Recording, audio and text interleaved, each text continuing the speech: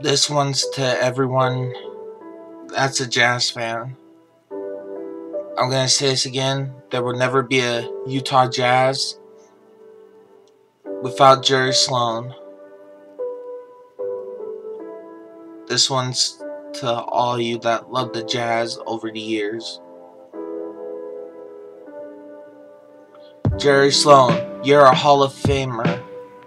You're the best coach. You were the greatest coach of the Utah Jazz.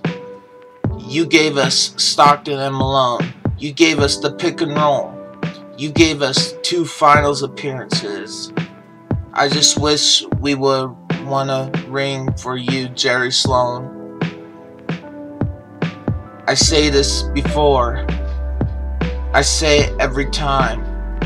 Every jazz win is for you, Jerry Sloan.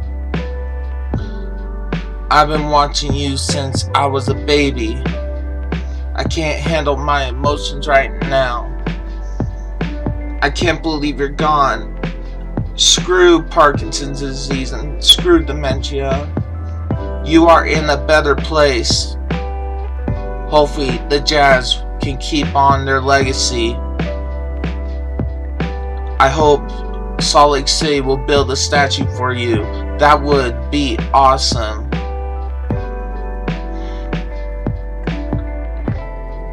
Jazz fans miss you. I miss you, Jerry Sloan.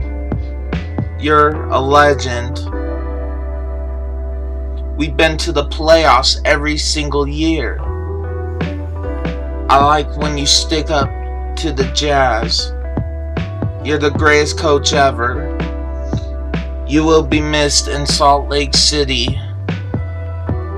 All I want to say is to end this tribute. Let me hold back my tears.